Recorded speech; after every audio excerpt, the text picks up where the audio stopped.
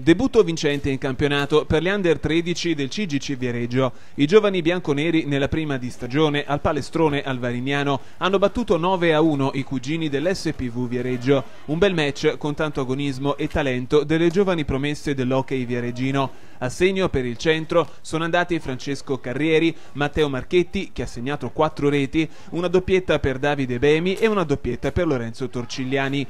Per il CGC Under 13, allenato da Mirko Bertolucci, è il primo match dopo il turno di riposo osservato alla prima di campionato a girone unico toscano. Al debutto invece l'SPV aveva battuto 6 a 4 il Grosseto. Le due formazioni adesso sono alla pari in classifica, guidata dai maremmani del Follonica. Nel prossimo turno, domenica 13 novembre, l'SPV Under 13 se la vedrà proprio con il Follonica in trasferta. Il CGC invece sarà impegnato nel derby versiliese contro il Forte dei Marmi. Al Palaforte di Vittoria Puana, nella stessa giornata, si confronteranno anche gli Under 11 delle due società.